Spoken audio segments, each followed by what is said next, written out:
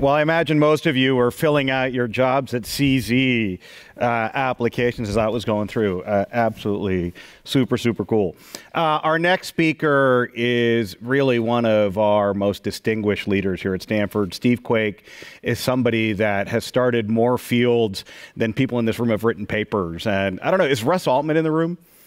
He's not. All right, good. I can talk about him. So Russ has a great uh, line about Steve that he says, and if you invite Steve to give a talk at, at a conference, be careful because he'll take it super seriously and he'll put together a, de a dedicated talk that'll then launch a one or two billion dollar industry. So, uh, and that's happened multiple times at, at, uh, at this conference in the past. So it's a real pleasure and treat to have Steve back telling us about the BioHub and sort of his vision and Joe's vision for where this is going. Steve.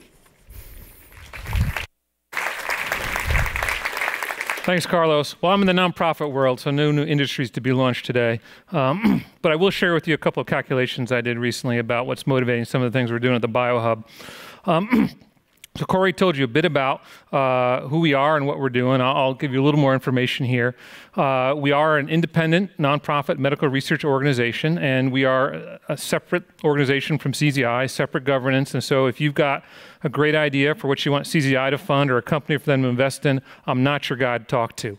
Um, and don't email me, please, about that. I'll tell you later what you email me about, though.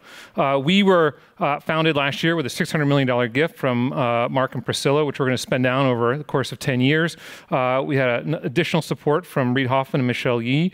Uh, and uh, our main, we're a bricks and mortar institute. We're based up in Mission Bay in, in San Francisco.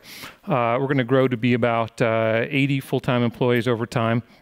We have a satellite facility here at Stanford, uh, right next to the hospital, uh, not too far from here, and we're in the process of getting one set up at Berkeley as well. And as Cori told you, uh, you know, our mission is to bring together the three universities of the Bay Area here uh, and uh, try to help stimulate innovation in science and technology development. And we're pretty excited about doing that. Um, So uh, we phrase our vision of the mission is that we're going to focus on understanding underlying mechanisms of disease and developing new technologies, which will lead to actionable diagnostics and effective ther therapies. So we're very much on the front end of the whole mission statement. We're not doing uh, translation, clinical trials, things like that. Really focus on basic science and early technology development. Um, and we've kind of uh, uh, divided up our, our, budget into roughly into thirds. Um, and so there's three different ways we're going about uh, uh, trying to accomplish this. And the first is uh, through our investigator program. Uh, so about a third of our budget is spent funding faculty at the three universities to work on their riskiest, most exciting ideas. We had a Uh, uh, uh, an application process we went through last fall and winter. Uh, more than 750 people applied. We announced the 47 awardees a couple months ago, and and we're letting them get down to work. It's it's it's it's been incredibly exciting to see what they propose and what they're working on. and you know, although we you know, are spending a lot of effort encouraging people to work together, part of the, of the fun in the investigator program is it gives people the latitude to go hide in a corner and work on what they want um, uh, that people don't think is going to work, that can't be supported through conventional means. They don't have to convince other people. They can just get down to it, show it's going to work, and uh, hopefully transition into uh, uh, federal funding. We do ask them to come by and chat with each other uh, every couple of weeks, and, and we're thinking that's going to lay the foundation for interesting collaborations going forward. Another third of our budget is spent building technology platforms that are uh, uh, going to be shared among faculty at the universities here. So for people who want to use cutting edge technology, stuff that's pre-commercial, not out there yet, where they're not experts in it, but feel like it might help their science, we're making that available to faculty at the universities. And I'll, I'll describe those in a little more detail in a moment. The final third of our budget is spent on our internal research programs. Uh, we've got two uh, major projects or themes we're pursuing. Uh, one is the Cell Atlas, which Cori told you a bit about. The other is the Infectious Disease Initiative. And I'm not going to get into great detail about what we're doing here, but I'll just say we're also using this as a mechanism to create an alternative career path for young folks in science. People who want to do science but don't want to write grants or teach classes, be in the university, uh, uh, just prefer to be at the bench and run a small group. And, and that's how we're sort of structuring that. Um, we uh, got our investigators together uh, uh, about a month ago for the first time. That's the group of them there. It's 50, uh, almost 50 folks. And it's been, as I said, really interesting to hear what they're working on and see where they're going. This for us is something where uh, it's uh, it's a bit of a gamble. We're not you know sort of micromanaging them, and uh, we've funded a really diverse set of folks who are working on on uh, on science and engineering that goes way beyond our internal projects. It, people working in environmental ecosystems, working in uh, network computer science, uh, sort of microbiology, and it's just we hope going to lead to some great discoveries and also great interactions and collaborations as the group gels together. As far as the platforms go, uh, uh, we've decided to invest in five broad technology platforms. One is genomics, the other is advanced optical microscopy, uh, third one is data science, fourth is genome engineering, and finally bioengineering, which we're pulling together optomechanofluidic engineering all into sort of one group there. And so for each of these areas, we've hired a group leader, uh, a platform leader, and they're building a small team, uh, and they'll be uh, shortly sort of rolling out announcements to the universities about uh, how we'll interact. The, uh, the first one we'll be rolling out will be genomics, and we're hoping to get that, um, some information about that out uh, later this week or early next week. And this is something which, as I mentioned, will enable access for all faculty at the three universities to, to, to, to get access to. Um, Cori talked a lot about accelerating science, and that's something uh, that we believe in too, and we're trying to figure out how to implement that in, in the context of the BioHub. And uh, after a little bit of thought, we decided uh, probably the best way to accelerate science is to try to accelerate dissemination of results. Um, conventional publication uh, often delays results from uh, nine to 24 months. Uh, it, it, can be a real slog to get through. Uh, uh, the editors, reviewers, I want you to do irrelevant things often. Uh, and this creates you know, a really substantial delay in communicating science. And all of us who are practicing scientists have felt it.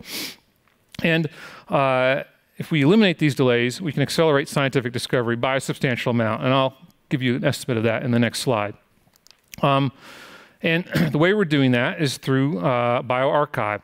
So we're asking all of our investigators, and they've all agreed, as well as our scientists and the people who use our platforms will agree to this too, uh, will agree to post preprints on bioRxiv when they submit their paper to a peer-reviewed journal. Um, and we know that this works. Uh, this is something that's been part of the culture in physics for many decades. I did my doctorate in a theoretical physics department, and back in the day, it was before the internet existed, we would Xerox our papers, our preprints, mail them to each other by post. They were racks where these mailed papers would be uh, sitting in every department, and we know what everyone else was doing uh, before uh, publication through this mechanism. And with the advent of technology and the internet, made sharing uh, uh, something that could be done more easily and more broadly. Uh, it's really a cultural choice, not a technological question, and we know that it works in some scientific cultures. And it feels like now is the time in biology. When Joe and I called up the uh, the investigators to tell them they'd been awarded uh, the investigatorship. Uh, we also told them they had to do this, uh, and amazingly enough, half of them said, well, I'm already doing that. Uh, there's no change in their practice. the other half said, more or less, well, I've been thinking about doing that, and maybe this is the time to start doing it. A couple of them said, what's bioRxiv? And so we educated them about that.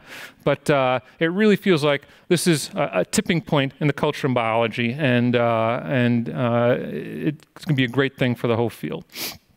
How great will it be? Um, and how much faster uh, can you make science go? Well, if you let alpha be uh, the time from publication of a result to the next discovery that that result enables. Um, that's the amount of time. You read something in a journal and say, wow, that's amazing. It sets you off working on something, and a little while later, you have a discovery to publish yourself. Um, delta is the publication delay time. So when you've got your discovery, you send your paper in, and by the time the next person is able to read it, that's delta. And they're roughly the same amount of time. Let's say 18 to 24 months. Um, now, uh, you need several discoveries often to get to a major breakthrough. Very few breakthroughs in science happen in a vacuum, and they build on previous discoveries. And so if you need n of those things in a row, then the total time to wait for a breakthrough is n times alpha plus delta. Now, if you eliminate the delay uh, and people are reading things on bioRxiv, uh, the acceleration is roughly twofold, okay? Because alpha and delta are comparable time scales. And so that's pretty amazing. To accelerate times twofold, anyone would take that, right? Um, now, but this is just the simplest possible model. And you know, if you think about something a little more realistic, suppose every time you publish a discovery, it inspires two people, and they go off and each have their own discovery. And really, honestly, if you know, if uh, if you think what you're trying to communicate is not going to inspire at least two people, you probably shouldn't publish it. Um, so. Each of those two people go off, do their research, each of them publishes something that affects two more people. Now you see it's growing exponentially like a tree. So all of a sudden, uh, the fold improvement is 2 to the t over 2 alpha, uh, or roughly speaking, after 10 years, you've accelerated science by fivefold. I mean, it's really a staggering number. And this is sort of the power of the community coming together and sharing with each other. And we'll see what happens. It's an experiment for us, and we're really excited about it. Um, let me tell you about some of the people who are helping us do this at the BioHub. Uh, we have a great scientific advisory board. Uh, Rick Lifton, who's the president of Rockefeller University, Sangeeta Bhattacharya, who's a distinguished bioengineer at MIT, Bob Tjian, who's a former president of HHMI and current faculty member at Berkeley, and Don Ganem, who runs uh, uh, global infectious disease at Novartis. We have an advisory group with one member from each university, Russ Altman from Stanford, Jennifer Doudna from Berkeley, and John Weissman from UCSF. Uh, Peter Kim is leading our infectious disease project. Uh, uh, Lubert Stryer uh, came aboard to run our investigator competition. And uh, Joe and I uh, are just trying to keep the whole thing on the rails.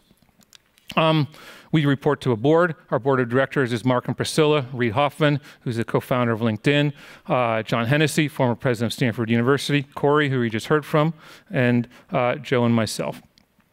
Now, where is it all going? this is my last slide, um, and you get a little dessert.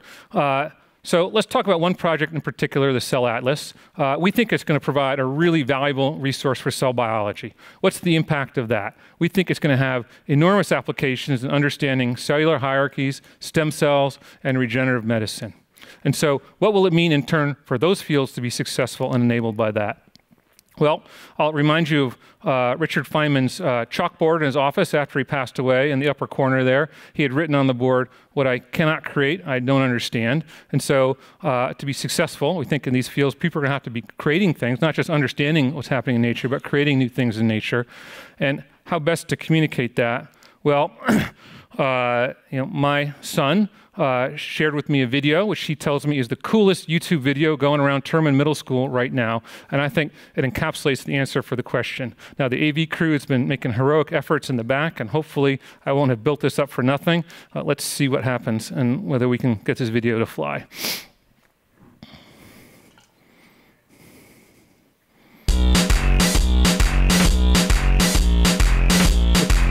Dolly the sheep, right?